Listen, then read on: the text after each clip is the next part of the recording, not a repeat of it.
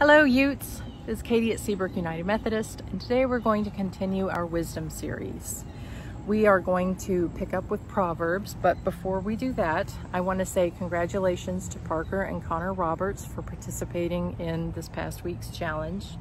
Last week, I sent you guys a challenge asking you to let me know which of the three books of wisdom you identify with most. And if you recall, Proverbs is the black and white thinking, Ecclesiastes is the gray area thinking, and Job is the dude that just wants to know why bad things happen to good people. Connor and Parker have responded. They say that they are Ecclesiastes gray thinkers. I am too. so watch for those prizes. Um, I also mentioned last week that you should start looking at the Bible Project videos on YouTube. They are amazing. The artists, the, the art in their videos, it, it's awesome. It's so good. It's I wish I wish I could see it when I was when I was your age and in youth group. Um, they condense the information into a very artful and clear way.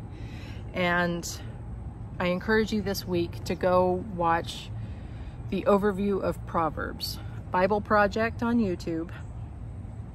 Overview of Proverbs.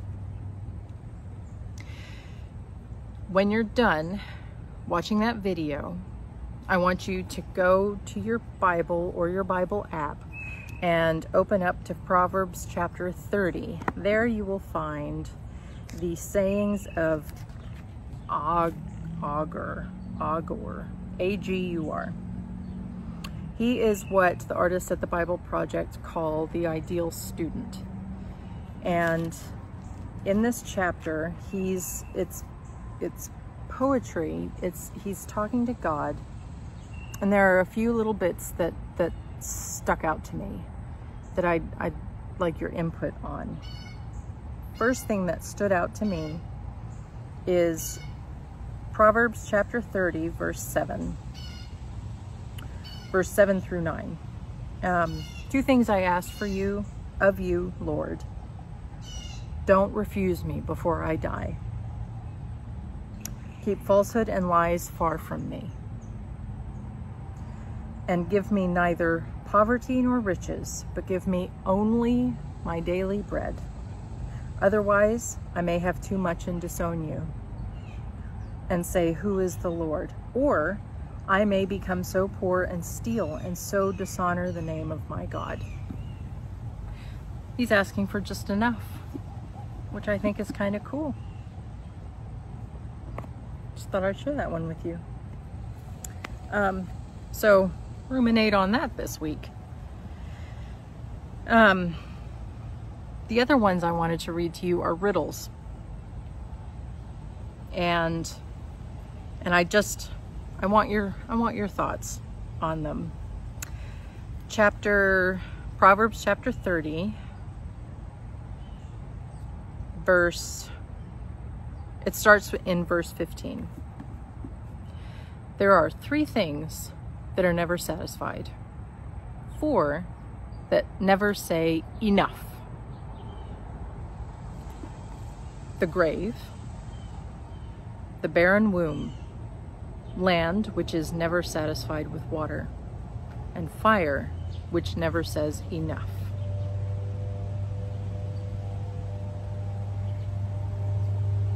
Hmm. Here's another one. There are oh this is this is verse 18.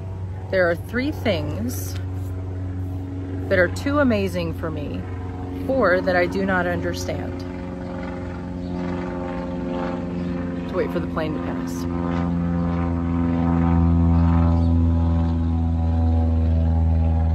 Okay, I think it's better now. Chapter chapter 30 verse 18. There are 3 things that are too amazing for me and 4 that I do not understand. The way of an eagle in the sky. The way of a snake on a rock. The way of a ship on the high seas and the way of a woman with a young man.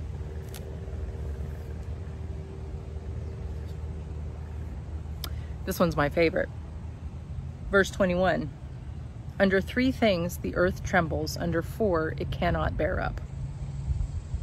A servant who becomes a king, a godless fool who gets plenty to eat, a contemptible woman who gets married, and a servant who displaces her mistress. Hmm. Four things on earth are small, yet they are extremely wise. Ants are creatures of little strength, yet they store up their food in the summer.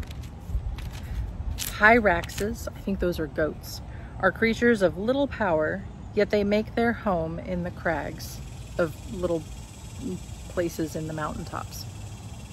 Locusts have no king, yet they advance together in ranks. A lizard can be caught with the hand, yet it, yet it is found in kings' palaces. there are three things that are stately in their stride, four that move with stately bearing. A lion, mighty among beasts, who retreats before nothing. A strutting rooster, a he-goat, and a king secure against revolt.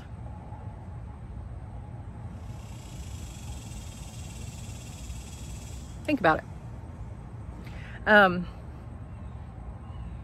and on that note, I'm signing off, but not before I formally accept Bill Stites' Bible Lesson Challenge. Bill Stites, the leader of the adult Bible study group, has challenged the youth group to a Bible lesson throwdown. And we're throwing down. Tune in next week. We will be presenting our exploration of wisdom and we're going to beat the pants off of Bill Stites. Have a good week.